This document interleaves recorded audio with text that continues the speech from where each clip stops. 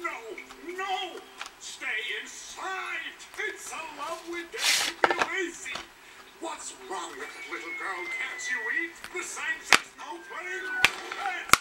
Oh, kids just don't listen. Why, I remember time when everybody listened to what I said. If I told them to be lazy, they were lazy. If I told them don't play, they would stop. Was king of doing nothing. Now look at me. All alone, forgotten, and completely not listened to.